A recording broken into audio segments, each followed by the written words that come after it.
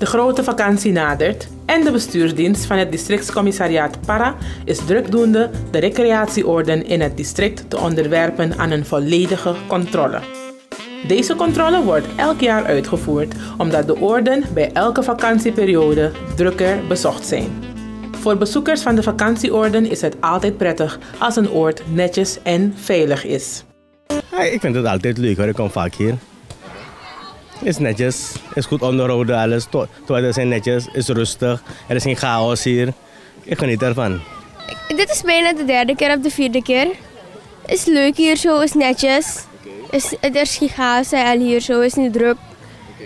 Het water, als er gevaar is, halen ze uit het water weg, ze lossen het op. Hier zo is helemaal netjes voor mij hoor.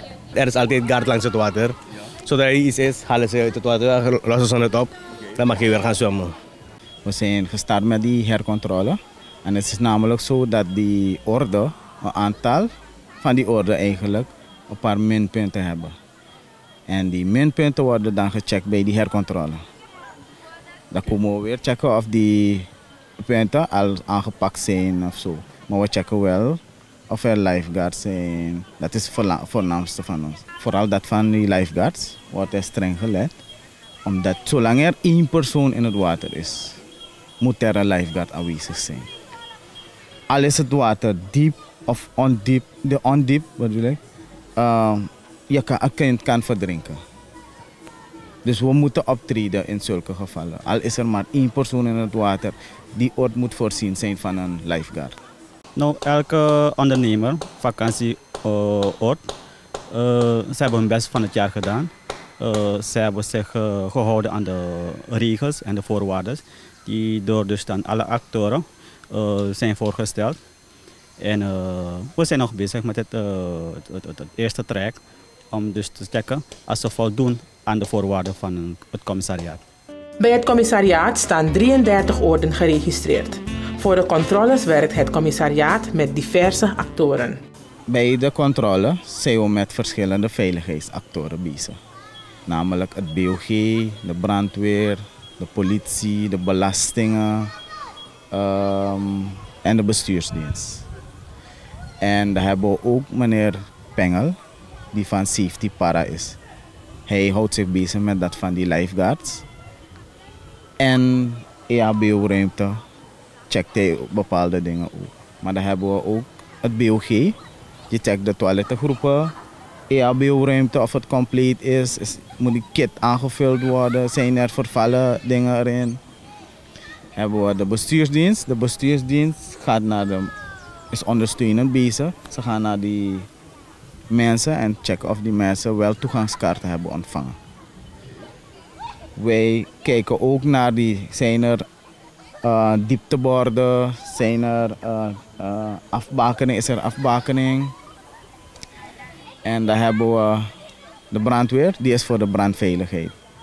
Checken of de overnachtingslocaties voorzien zijn van rookmelders. Safety Para is een organisatie die zich bezighoudt met de veiligheid. Is heel veel, heel veel ja, maar uh, houdt zich meer met de lifeguard werkzaamheden en de EHBO werkzaamheden op de recreatieorde. Ze zijn verplicht om lifeguards te hebben op een recreatieorde. Omdat mensen komen voor plezier, genieten en het meest komen ze met kinderen. Daarom is er veiligheid nodig. Daarom moet een recreatieoord tenminste lifeguards hebben op een recreatieoord. De, de lifeguards doen hun werk goed. Ja, ik heb een week geleden een rapport gehad van de lifeguard die een meisje uit het water heeft weggehaald. En vandaag zelf met de stroming. Ja, en het is wel gelukt. Ja, omdat de lifeguard is alert. De lifeguard is belast met het veiligheid over de, over de hele oor. Maar het meest zichzelf richting water. Om daar, omdat daar veilig moet zijn. Vooral, vooral voor kinderen. Ja. Dus brandweerwijs specifiek letten we op open bedradingen, brandblusapparaten en ja, dingen die noemenswaardig zijn voor de brandweer als het ware. Dus de burgerij moet als het ware in, in, in, een gevoel krijgen van veiligheid en daarvoor zijn we er. Dus alles dat de brandweer toch aangaat eigenlijk. Nu hebben we meer een preventief, een preventief werk. We, zijn, we willen die mensen leiden en begeleiden op deze plekken. Dus als het ware. Maar sancties tot zover, we kunnen alleen maar adviezen geven nu. En dat alles in goede handen loopt. Op bezoekers wordt het beroep gedaan de eigen veiligheid ook ter hand te nemen en de instructies aldaar na te leven.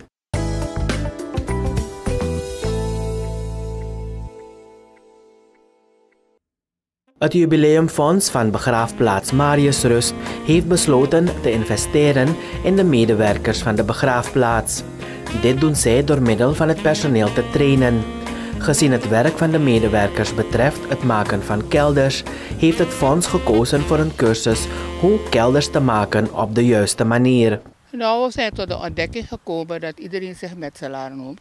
En dan zie je wat voor werk ze leveren. Dus toen hebben we gedacht van, eenmaal we bezig zijn met, met, met de mensen die hier werken, laten we kijken als het jubileumfonds ook tot aan de, een betere hoogte kunnen brengen. Om goed werk te leveren als mensen komen wanneer ze uit de begraafplaats gaan, dat ze tevreden zijn wat ze gehad hebben voor hun geld. Er is een klacht door mensen die hier gekomen zijn en hun geld betaald hebben. En ze hebben niet gehad waarvoor ze betaald hebben. Want de samenstelling van het cement was niet goed. Het brokkelt af. Op basis daarvan hebben we het jubileumfonds besloten van... laten we kijken als we wat voor de heren kunnen doen. Ook voor hun toekomst. Want als je die training hebt gevolgd, kan je ook nog ergens anders aan de bak komen van luisteren. Nou, ik heb een SAO-training gevolgd. Ik doe meer dan tien jaar. Ja, het was eigenlijk mijn vaders specialiteit. Door mijn vader ben ik in dat werk gekomen. Mijn vader, ik, ik, ben, ik, heb, ik heb eigenlijk een pak fles van, dit, van dat werk gedronken. Het is heel zwaar. Dit, is, dit werk is eigenlijk, je doet het niet zomaar. Is een roeping. Het is een roeping. Een roeping is eigenlijk, je geest brengt je. Voor het verzorgen van de cursus heeft het fonds de Stichting Arbeidsmobilisatie en Ontwikkeling SAO in de hand genomen. De heer uh, Castillon en mevrouw Salman, allemaal bestuursleden van het Jubileumfonds, die hebben de SAO benaderd om na te gaan welke training we hier kunnen verzorgen. En aangezien een van de type trainingen die de SAO verzorgt, trainingen op maat is, hebben wij gezegd van we kunnen kijken middels een informatiebijeenkomst om te komen op een, een training die specifiek gericht is op de wensen van en de behoeften die er bestaan. Het zal een training op maat zijn en het zal twee, duren, twee weken in beslag nemen. We hebben het nog nooit verzorgd en ik moet erbij vermelden dat het een initiatief is van het Jubileumfonds.